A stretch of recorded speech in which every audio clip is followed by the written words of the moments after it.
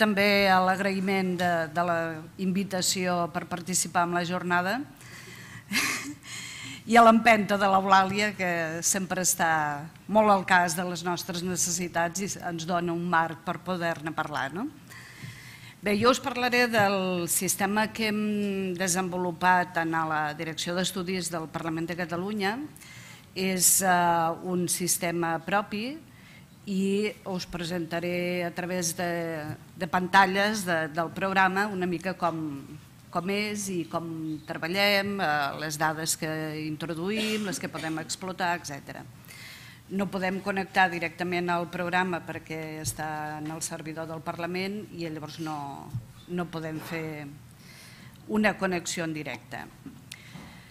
Bé, una mica per presentar com anirà la presentació, us parlaré què és la Direcció d'Estudis Parlamentaris, alguns ja ho coneixeu, d'altres potser no ho coneixeu tant, molt, molt sumàriament. A la gestió de consultes, l'automatització i el programari que utilitzem. En quant al gestor de consultes, ja pròpiament, eh, bueno, doncs això que us deia, us presentaré a través de la còpia de pantalles el programa, una mica parlarem així de forma general i suposo que després en el debat podem concretar més segons els vostres interessos del que ens dona aquest programari, les limitacions i una mica per què hem fet aquesta, aquesta opció. La Direcció d'Estudis Parlamentaris és el departament de, dins de l'administració parlamentària del Parlament de Catalunya que disposa els serveis documentals per satisfer les necessitats d'informació. El Parlament, el parlamentari pròpiament, ha d'estar ben informat per a poder tenir un coneixement sobre allò que ha de debatre o sobre qüestions que depèn de decisions importants. És molt important la informació que es facilita des del Departament, des de la Direcció d'Estudis, ja sigui la informació, la recerca i l'assistència als membres del Parlament en general i proporciona el suport documental que la cambra i els seus membres necessiten per a la realització dels treballs parlamentaris, com us deia abans. Els usuaris de la direcció d'estudi eh, els classifiquem en dos grans grups, un serien els interns i l'altre gran grup els externs. Dins dels interns, doncs, eh, com podeu pensar, són els diputats, el personal que hi ha a grups parlamentaris, hi ha personal de caire administratiu, però també hi ha personal tècnic especialitzat, tipus assistent.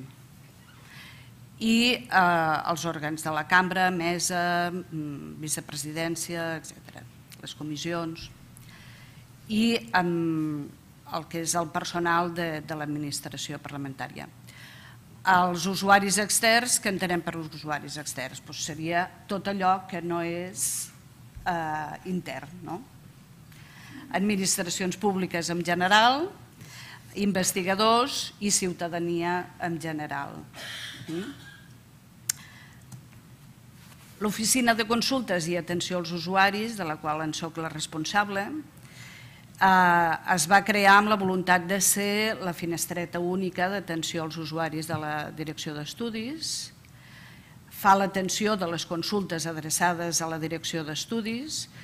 Aquí un parèntesi, eh, la direcció inclou tant el que és l'arxiu parlamentari com la biblioteca parlamentària. Mm? Per tant, doncs, diguem-ne que té una complexitat amb organització i amb consultes. Ens pot arribar a consultes tant eh, pel que seria entès com a biblioteca parlamentària com eh, per l'arxiu. També dir-vos que eh, centralitza la recepció de les consultes adreçades a la direcció, com us comentava, i ens arriba a través de, de diferents canals, una mica també com comentava la Pilar abans. No? A través d'intranet, eh, amb un formulari molt senzill on s'identifiquen ja com, com a... O sigui, no s'identifiquen en el formulari, sinó que ha la identificació a la pròpia intranet, els identifica a la consulta. Mm? Això ens servirà per tots els usuaris interns. Mm? I després una, un camp de consulta on eh, doncs, explicarà el que vol. També ens arriben moltes consultes via telèfon i eh, per correu electrònic i poquetes presencialment. Heu de pensar que majoritàriament les consultes ens arriben d'usuaris interns de la, del Parlament. Llavors, eh, són persones que tenen un lloc de, de treball en el Parlament i que els hi és molt més còmode treballar des del seu lloc de treball que desplaçar-se a, la, a la sala de consultes, que és on atendríem la consulta presencial.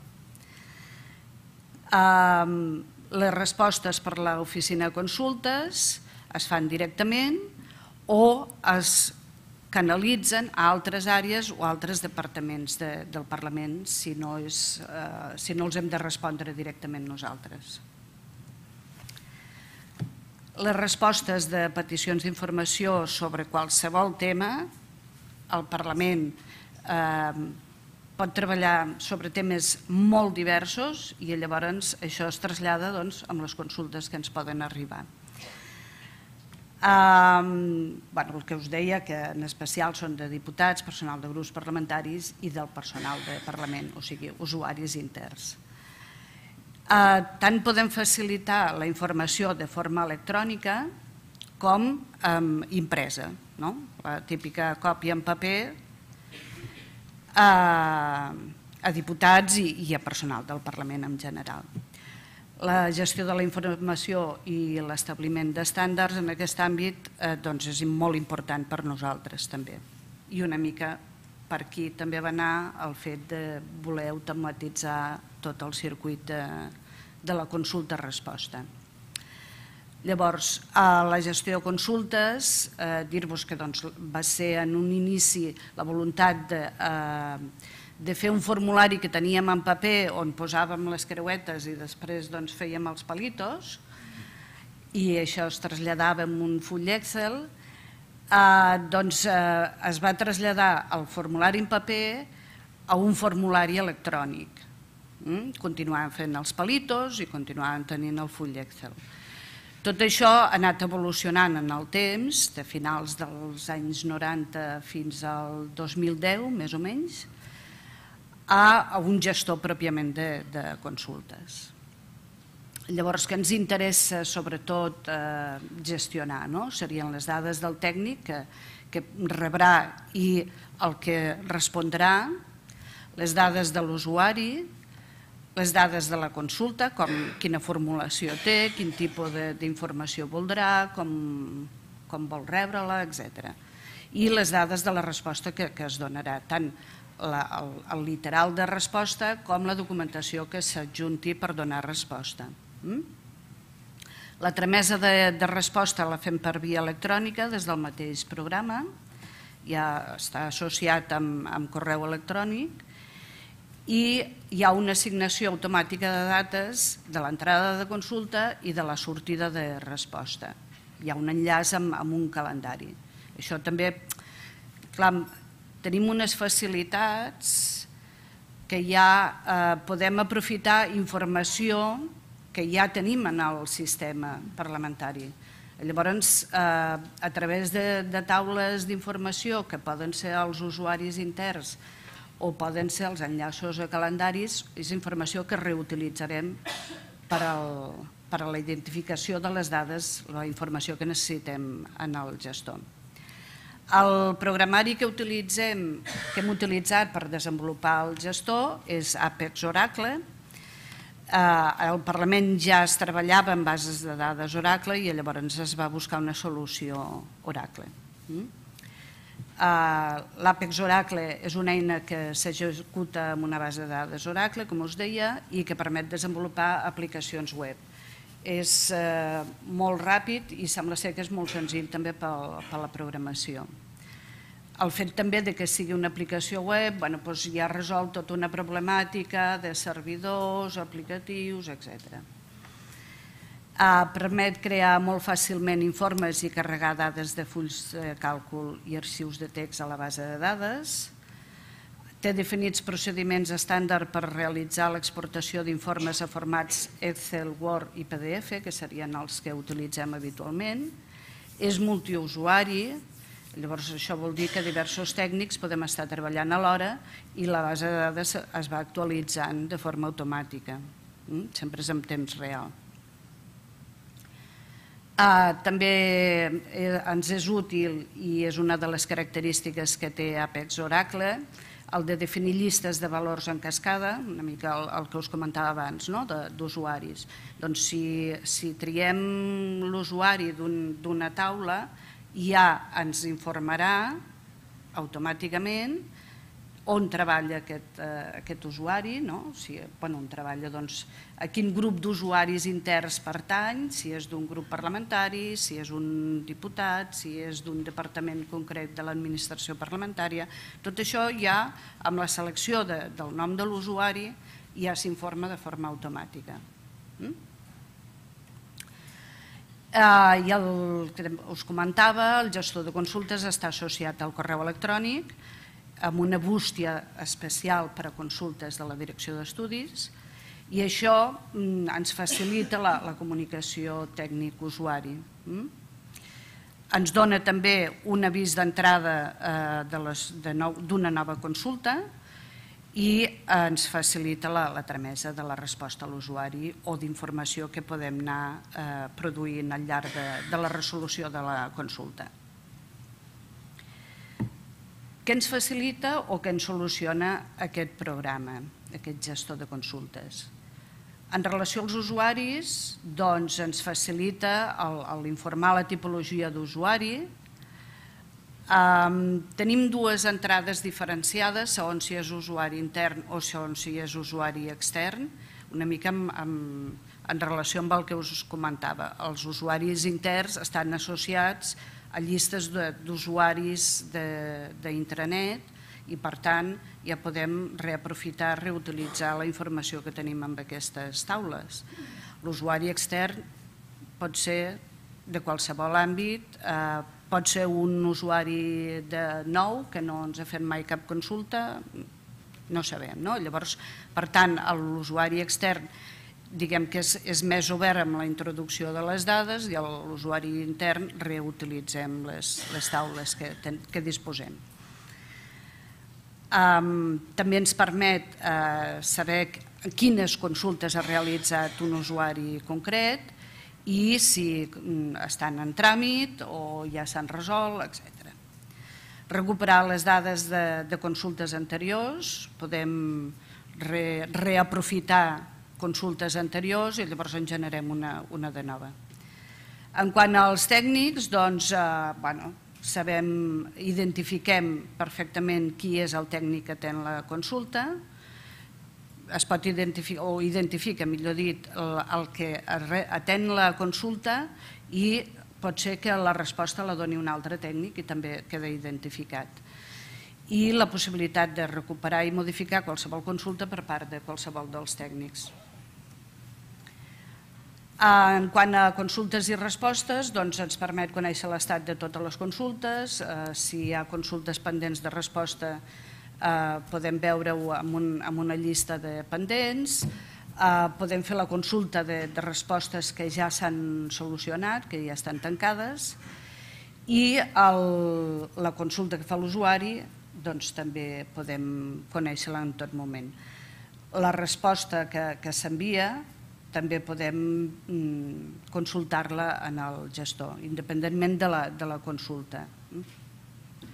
Llavors, la resposta s'envia per correu electrònic i hi ha un repositori de les consultes. Llavors, tota, tota la, les, els literals que, que podem respondre, la documentació que s'ha annexat per donar resposta a consultes, queda guardat en, un, en el repositori d'Oracle. Bé, això ens permet també un, tenir una gestió de, de coneixement intern, que mm, clar, aquesta és una de les eines que utilitzem dins de la direcció i dins del Parlament. Per tant, mm, hauria d'haver-hi una relació o una integració de tots els sistemes que, que hi ha en el, en el Parlament, però almenys eh, pel que fa a consultes sí ens és útil. Llavors, ja entrant en matèria de, del gestor, aquesta és la, la primera pantalla, la, la d'introducció de les dades, llavors una mica el que us deia. Uh, ja diferenciem si són usuaris de Parlament o usuaris d'externs a l'hora de, de seleccionar el tipus d'entrada d'informació. Un cop ja hem seleccionat, veiem que aquí ja és un usuari intern, el tècnic ja surt per defecte a l'identificar-me com en el sistema informàtic del Parlament, per tant ja recupera les meves dades. Eh, el tècnic va associat a una, a àrea de la direcció d'estudis, llavors per tant també podem fer cerques per, per les àrees, bueno, podem explotar les dades.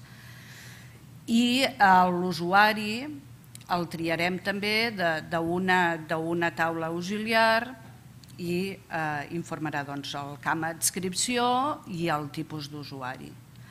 El camp consulta és un petit editor de text molt senzillet, que llavors doncs, escrivim el literal, tal, i eh, si podem eh, triar com ens ha arribat la, la consulta, si ha estat per telèfon, si és presencial o per correu electrònic.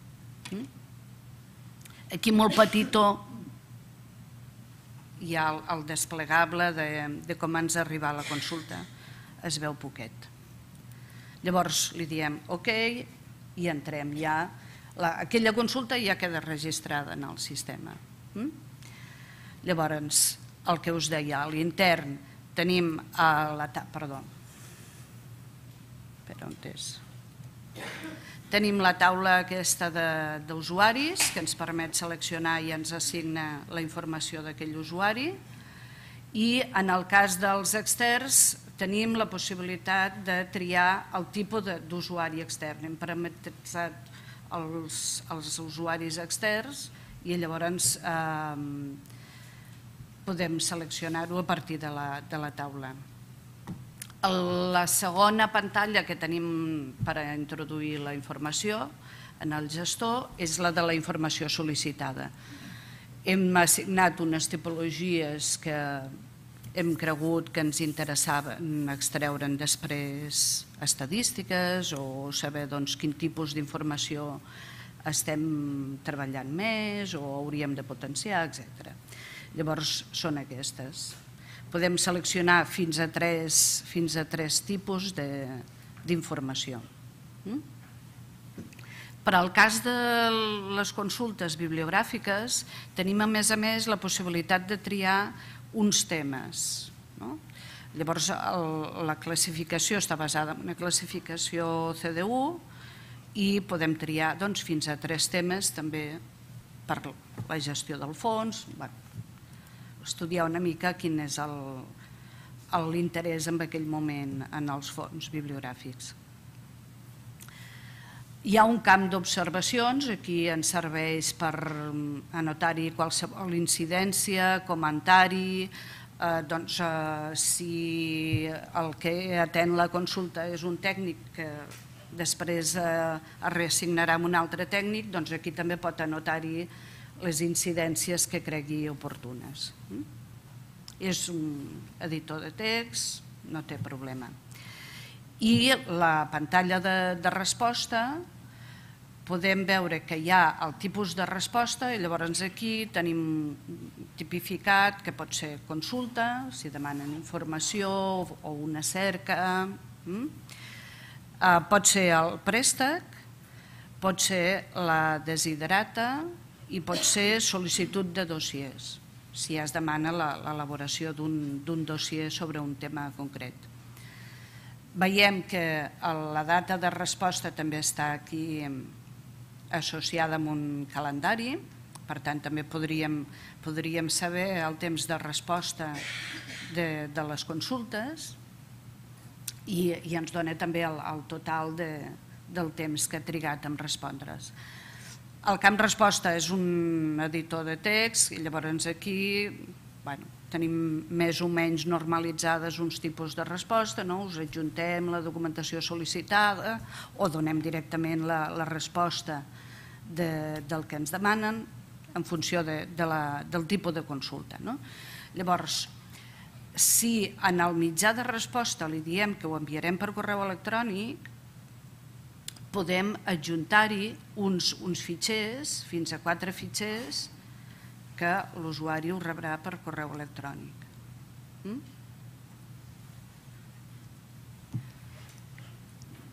Uh, quan entrem en el gestor, què veiem? Veiem aquesta pantalla. Veiem aquí a l'esquerra aquesta barra de menús per, per fer les tasques que, que calgui i aquí a la part central hi ha eh, un menú on apareixen les consultes pendents. Per tant, en tot moment sabem quines consultes tenim pendents. Mm? Llavors, tenim un identificador de, de consulta, la data, qui ho sol·licita, el nom, el departament, en el cas d'usuari de, de, de personal de l'administració parlamentària, la, el que demana, la consulta, a qui ha, anat ha estat adreçada i el tècnic que, eh, que ten aquella consulta. Mm? Llavors, en tot moment podem saber qui ha demanat, què, què ha demanat, qui està atenent aquella consulta i la data. Si, si és del dia, si ja fa dos dies o si fa una setmana, què passa? No? Podem veure eh, perfectament les consultes en tràmit. El programa, el gestor, ens eh, permet també fer consultes eh, de consultes i llavors bueno, doncs podem fer-ho des de molts, molts camps. Podem demanar-ho per, per número d'identificador de, de consulta, podem demanar pels departaments que ho sol·liciten, eh, podem triar si, volem, si són usuaris interns, externs, tancat, en tràmit, etc. No? Podem demanar també pel nom del sol·licitant en el cas dels usuaris interns. En el, en el cas dels usuaris externs és una informació que no podem recuperar per un tema de protecció de dades que llavors s'ha decidit no guardar-ho, no guardar aquest fitxer de, de dades. També podem recuperar-ho pel tècnic que, que ten la consulta o per àrea. Mm, el tipus de, de resposta, mm, la, podem buscar també pel literal de, de consulta o de resposta o també pel camp observacions. Mm? Podem buscar-ho també per data, per interval de dates o per tipus d'informació sol·licitada. Eh? Aquí us he posat el calendari, bueno, és la típica selecció a partir d'un calendari que està enllaçat, està associat en el gestor. Llavors, a partir de la mm, cerca que hem fet, el resultat que ens dona, l'informe que ens dona, és aquest. Llavors hi ha, hi ha tot un, un llistat. Per exemple, doncs veieu que el resultat total són 24 i ens mostra 15. Doncs tenim més pantalles, no, no tenim una limitació en aquest sentit. Llavors, és molt semblant al tipus d'informe o de llistat que tenim a la pantalla inicial de, de, tasques, de tasques pendents. Mm? Llavors, els informes de consultes, que és el, el que veiem ara, ens permet doncs, elaborar informes personalitzats. Tenim eines que, que ens permeten filtrar el tipus d'informació, el, els camps que volem utilitzar, etc. No? Llavors, eh, podem doncs, eh, fer un, una cerca per un interval de dates, però filtrar-ho per la tipologia d'usuari o pel tipus d'informació. I a partir d'aquí podem fer estudis més detallats de, bueno, de serveis, d'usuaris, etc. Les estadístiques ens ha suposat un gran avenç amb l'elaboració automàtica d'estadístiques, de consulta, ens, i ens estalviem els palitos. El full d'Excel no, perquè podem exportar els informes al full i, i llavors, però clar, ens, ens dona unes facilitats que, que, no, que no teníem fins ara també. No? i també ens permet la, la, el, el tenir uns indicadors per poder fer l'estudi d'aquestes estadístiques. Mm, la part de les estadístiques, també dir-vos que hem fet un desenvolupament potser molt, molt senzill, no? I llavors és una feina que, que ens queda ara d'anar de, desenvolupant i, i anar traient-li suc a tota aquesta informació que tenim potencialment en el gestor. Uh, com podem elaborar estadístiques? Doncs a partir d'una data o un interval de, de dates fem, creem un conjunt i ja automàticament ens dona aquesta, aquestes estadístiques. Ens dona unes, unes taules amb uns totals que ens representa gràficament. Mm? En el cas d'usuaris o en el cas de, de tipus d'informació. Limitacions al gestor de consultes una mica amb la línia que, que demanava abans el Ciro. Bueno, N'hi ha, ha moltes de limitacions, però mm, crec que també són limitacions o, o, o no desenvolupaments més associats a la nostra pròpia organització que no pas del gestor pròpiament. Llavors, aquí he apuntat tres limitacions que, que veig més associades al gestor i no tant al, a la nostra organització per a la resolució de, de consultes i respostes.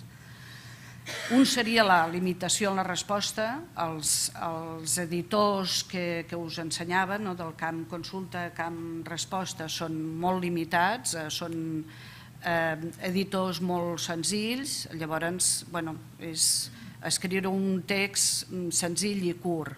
Eh?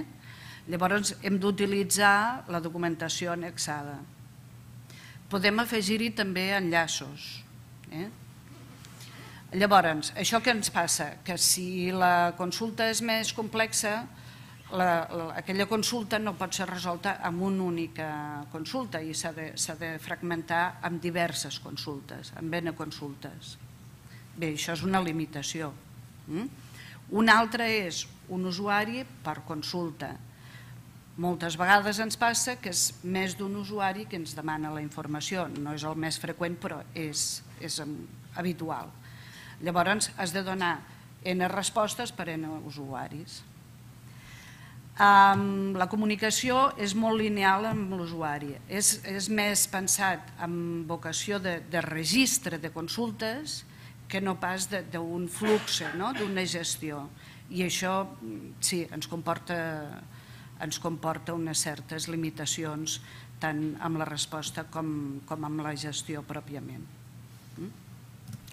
Llavors, com a conclusió, doncs, l'automatització la, de, de, la, de les consultes era amb la voluntat de disposar d'una base de dades única per tota la direcció d'estudis. Ja us comentava abans que és un, és un departament complex amb l'organització i amb els fons. Mm? I que a partir d'aquesta base de dades doncs, tinguem també enregistrats els usuaris, les consultes i les respostes que donem servei. A més a més, també ens ha permès d'alguna manera automatitzar el circuit de, de les consultes de la direcció i disposar d'uns indicadors per a l'elaboració automàtica de, de les estadístiques de la direcció d'estudis i agrair-vos l'atenció, espero que us hagi resultat interessant i a l'hora del debat doncs, eh, veurem l'interès. Molt bé, moltíssimes gràcies.